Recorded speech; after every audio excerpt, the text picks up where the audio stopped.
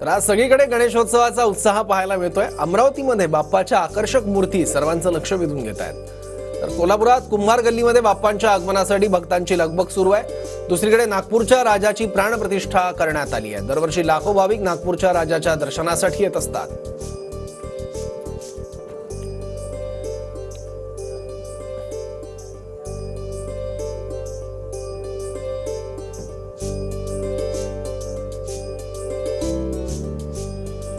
मध्ये अमरावतीच्या science core मैदानावरील गणपती मार्केटमध्ये आणि या ठिकाणी आपण बघू शकतो विविध देवतांच्या रूपामध्ये जे आहेत त्या इथल्या कलाकारांनी जे आहे ते मूर्तिकारांनी मूर्ती साकारलेल्या आहेत. आपण बघू शकतो या ठिकाणी श्रीरामाच्या रूपात देखील या ठिकाणी मूर्ती साकारण्यात आलेली आहे. हुबेहूब अशी मूर्त या ठिकाणी साकारण्यात आलेली आहे. सोबतच विठ्ठल असेल छत्रपती शिवाजी महाराज असेल विविध ज्या मूर्ती आहेत या ठिकाणी साकारण्यात आल्या. अतिशय बारीक असं नक्षीकाम यावर करण्यात आलेलं आहे वस्त्र वेगवेगळे परिधान या संपूर्ण मूर्तींना खास करून या मूर्तिकारांनी केलेलं आणि याची मागणी सध्या बाजारपेठेमध्ये आपल्याला पाहायला मिळते. आपण बघू शकतो हुबेहूब अशी विठ्ठलाची मूर्ती या ठिकाणी साकारण्यात आली आहे. त्या तिकडे जर बघितलं तर मोरावर विराजमान झालेले बाप्पा आपल्याला या ठिकाणी पाहायला मिळत आहे गणपती बाप्पांच्या मूर्तीला खरेदी करण्यासाठी जे आहे ते ग्राहकांची पसंती दिसत आहेत.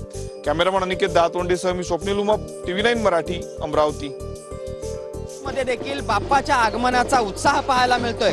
मी आता आहे कोल्हापुरातल्या शाहूपुरी आणि कुंभार गल्लीमध्ये आणि इथली दृश्य आपण बघू शकतो. सकाळी सकाळीच बाप्पाला घरी घेऊन जाण्यासाठी नागरिकांची गणेश भक्तांची गर्दी या ठिकाणी आपल्याला पाहायला मिळते. या सगळ्या गर्दीच्या पार्श्वभूमीवर या कुंभार गल्ल्यांच्या परिसरामध्ये पोलीस बंदोबस्त देखील तैनात करण्यात आलेला आहे आणि एकूणच आपण बघतोय की कशा पद्धतीचा उत्साह कोल्हापूरमध्ये या सगळ्या गणेशोत्सवाच्या निमित्तानं आपल्याला बघायला मिळतोय. सुनील काटकरचं भूषण पाटील टीव्ही नाईन मराठी कोल्हापूर. नागपुरातील मानाचा गणपती असलेल्या नागपूरच्या राजाची प्राण प्रतिष्ठापना सुरू झालेली आहे. आपण हे दृश्य या ठिकाणी बघू शकतो. नागपूरचा राजा हा नागपुरातील प्रसिद्ध गणपती आहे. नागपूरच्या राजाची प्राण प्रतिष्ठापना जी आहे ती या ठिकाणी सुरू आहे. विधिवत पूजा जवळपास आठ वाजतापासून आठ साडेआठ वाजतापासून ही विधिवत पूजा जी आहे ती सुरू झाली. दोन ते अडीच तासाची विधिवत पूजा झाल्यानंतर त्या ठिकाणी आरतीचं आयोजन जे आहे ते या ठिकाणी करण्यात येते. आपण हे दृश्य या ठिकाणी बघू शकतो. नागपूरच्या राजाची प्राण प्रतिष्ठापना या ठिकाणी सुरू आहे. एकोणतीसावं वर्ष नागपूरच्या राजाचं आणि दरवर्षी हजारो लाखो भाविक या ठिकाणी दर्शनासाठी येत असतात.